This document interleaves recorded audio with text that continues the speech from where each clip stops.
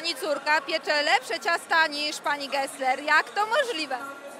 A e, ciastka pani Gessler są nastawione na masową produkcję, a ona piecze z sercem. To są jakieś pojedyncze takie sztuki, torty, które zamawiają u niej ludzie, ale piecze fantastycznie.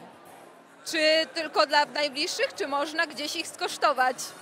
E, Ona piecze na zamówienie też, można u niej zamówić. Super, a czyli tutaj gdzieś w Warszawie? Nie, nie, nie, ona mieszka w Krakowie, ale ma stronę internetową, tą taką e, właśnie ciastkową biscotti. Grzeszy pani? A jak e, są święta i ona upiecze tort, to absolutnie grzeszę.